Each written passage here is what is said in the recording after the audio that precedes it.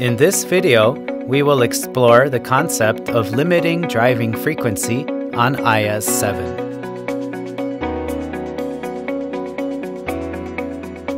The frequency limit can be set in three ways.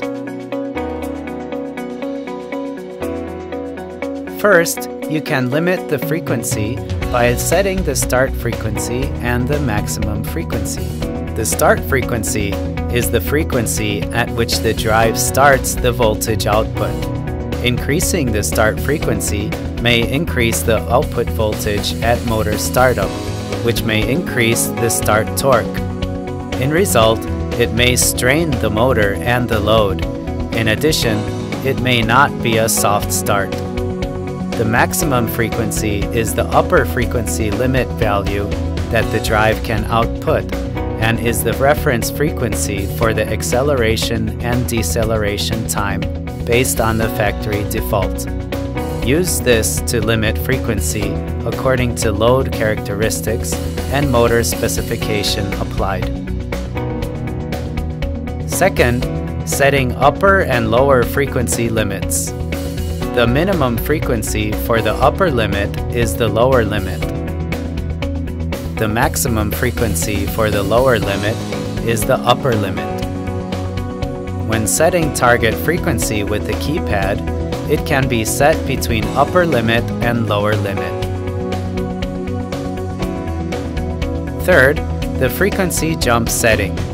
This feature prevents you from operating in the resonant frequency band that may appear in your machine system. When the motor accelerates or decelerates, it passes through the frequency jump band, and frequency cannot be set in the set frequency jump band. Depending on the operating characteristics of the equipment to be applied, the frequency limit function can be used for a wide variety of applications in order to avoid or drive in a particular frequency band.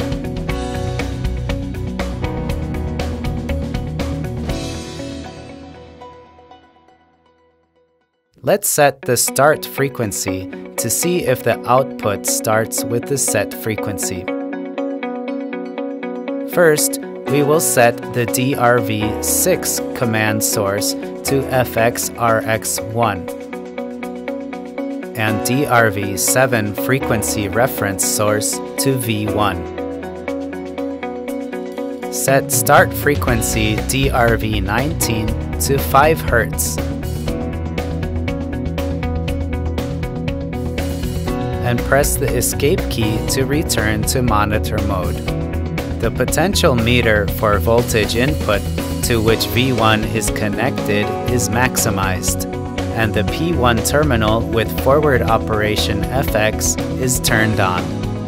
You can see that the output frequency of the keypad starts at 5 Hz.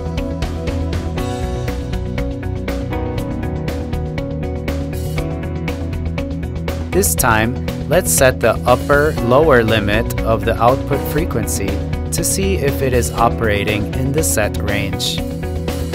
Set the frequency limit ADV24 frequency limit to yes. Set the lower limit frequency ADV25 to 15 Hz.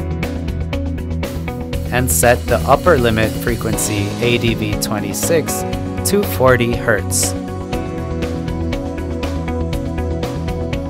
Turn on the P1 terminal to drive the motor, and then increase the command frequency to the maximum through the V1 voltage input.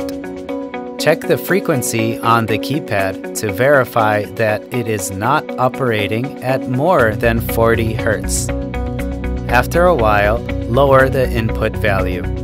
Slowly keep lowering at around 20 Hz to see how the output frequency varies.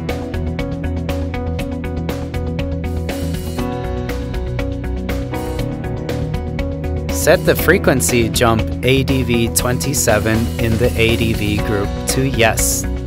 Enter 10, 15, 20, 25, 30, and 35 at ADV28 to ADV33.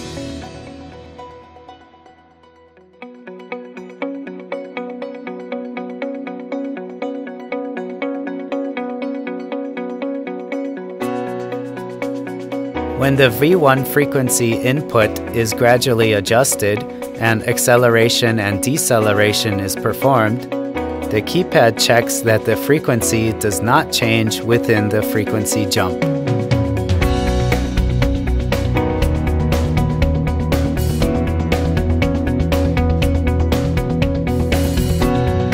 We have learned about the frequency limit function on IS7.